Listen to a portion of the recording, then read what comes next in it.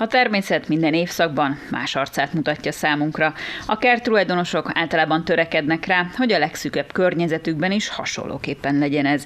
Egy udvar folyamatos munkát követel meg tulajdonosától, ki így, ki úgy gondozza. Van, aki megelégszik a füves területtel, van, aki a lehető legtöbb növényt szeretné viszont látni kertjében. Így van ezzel Krisztina is, aki 2019-ben költözött Kapospulára, azóta pedig csodát műveltek férjével a több éven parlagon fekvő területtel. A hirdetéseket nézve találtam erre a házra. Ez egy hat éve lakatlan ház volt, ehhez mérten rettentő dzsungeles kerttel. Hát első rátásra beleszerettünk, és 2019-ben ide is költöztünk, első évben a felújítással foglalkoztunk, és aztán 2020-tól kezdődött gyakorlatilag a kerttel való foglalatoskodás. Hát itt melkasig érő gaz volt, a járdák nem látszottak, tehát annyira be volt minden futva, és nagyon apránként kezdtünk neki, tehát először ugye a, a gazmentesítés volt a lényeg, és aztán kis területeket próbáltam kialakítani, és hát így jutottunk el a jelenlegi állapothoz. Dabasról költöztünk, ott is egy nagyon szép kertünk volt, tehát én nekem nagy szenvedélyem a kert, és onnan nagyon sok növényt átmentettem ide, tehát amikor már tudtam, hogy költözünk, akkor azért szedegettem ki a növényeket, és nagyon szeretem is szaporítani őket. Én az évelőket kedvelem nagyon, a rózsákat, hortenziákat, tehát leginkább ezek találhatóak meg itt a kertben. Azt szerettem volna, hogyha egy harmonikus látvány és egy kezelhető kert van, tehát a gyep az azért egy kertnek tartozéka, de nagyon szeretem az íveket például, tehát azokat minden, minden, mindenhol próbáltam kialakítani, és a, a színeket is.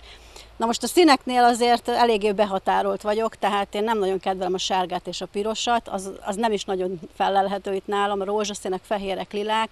Tehát mm, igazi koncepció nem volt, tehát ez ilyen mindig ilyen ösztönszerűen alakult, tehát egyik napra a másikra kitalálok egy új ágyást, és akkor nekiesek, tehát semmilyen konkrét nagy volumenű terv nem volt előre.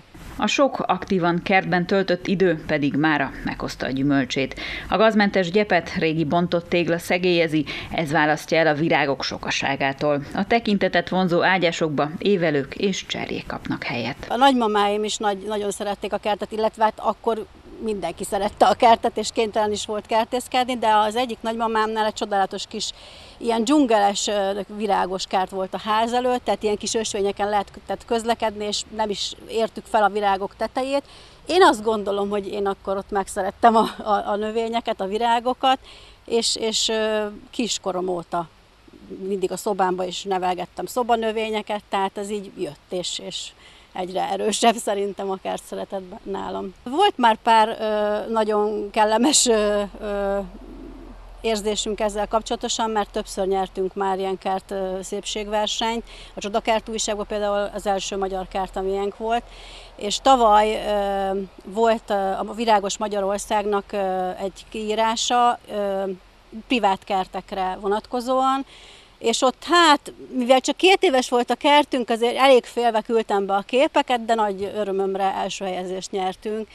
Ott méltányolták nyilván azt is, hogy ez egy nagyon új kert, és a, egy nagyon komoly szakmai zsűri volt az, aki elbírálta a pályázatokat. Képeket kellett beküldeni, majd volt egy szűkítő rosta, azon is átjutottunk, akkor kértek be még több képet mindenféle beállításból, Nyilván a, egy tavaszi képet küldtem be, mire a zsűri hozzánk elkerült, az már ősz volt, tehát ilyesmi idő volt, akkor azért nem egy színpompás kert van, de nagyon sok dicséretet kaptunk, tehát ők, ők tényleg a szakmában vannak benne, és nagyon sok tanácsot adtak, és hát nagyon megdicsértek minket, hogy itt tartunk ezzel a kerttel. Az udvar minden szegletében talál valamit az ember, ami magával ragadja a tekintetet. A nagy gondossággal kiválasztott kiegészítők pedig még érdekesebbé teszik a sok gondoskodást igénylő kertet. Nyilvánvaló egy kertésznek az a saját magának készíti szerintem elsősorban a kertet, vagy a családjának, meg a személynek.